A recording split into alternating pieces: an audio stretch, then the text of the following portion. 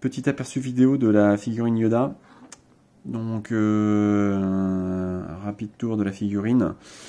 Donc, c'est du plastique, vraiment bas de gamme. Franchement, là-dessus, euh, grosse déception. Euh, déjà qu'au niveau design, c'est pas terrible. J'aurais apprécié quelque chose qui convient mieux à l'univers. Là, voilà, bon, on imagine un petit bloc de glace.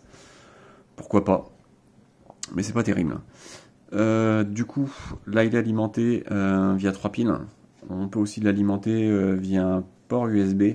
Donc là, c'est du micro USB, donc pareil, on n'est pas sur du, euh, USB-C, donc encore une, connectique un petit peu ancienne.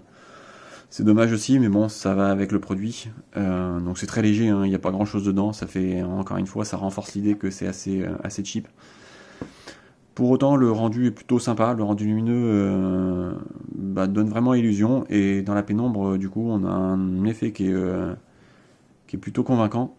Malheureusement, euh, moi j'ai un défaut avec le mien, c'est-à-dire que comme vous pouvez le voir depuis tout à l'heure, en fait il cycle seulement du vert au orange et euh, impossible de changer quoi que ce soit.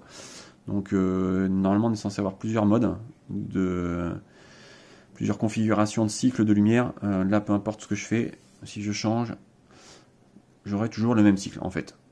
Et je ne pourrais rien faire d'autre, même si je change de couleur, hein. je vais mettre du blanc par exemple, et magique, bah, c'est pas blanc.